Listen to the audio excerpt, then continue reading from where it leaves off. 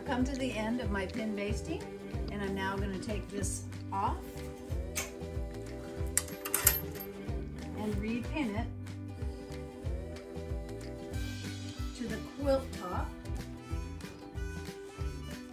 so that it is pinned to the leader and even.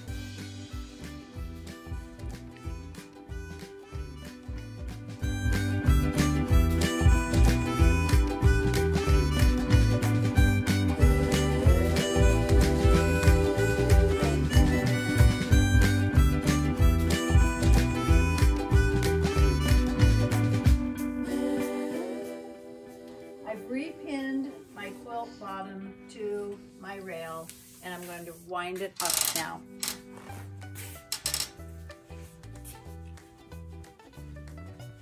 I have removed one of my bars because I only use two. I've been pin basting my quilts for 20 years and I do that because I think it gives me a more accurate finished quilt especially if the quilt has any problems and is wavy at all.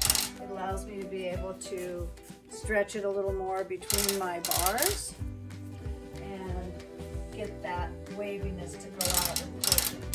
It also allows me to be able to roll back and forth on the quilt and change colors numerous times um, as I go along. I just remove the pins in the area that I'm quilting and now it's all ready to quilt. I'll remove the pins in the area that I'm going to quilt. I'll leave the pins in in the area that I'm not going to quilt and I can just roll it back and forth until I'm all done. And the quilt is pinned to the rail so it's perpendicular, uh, I mean it's parallel to the bar and it squares it up nicely.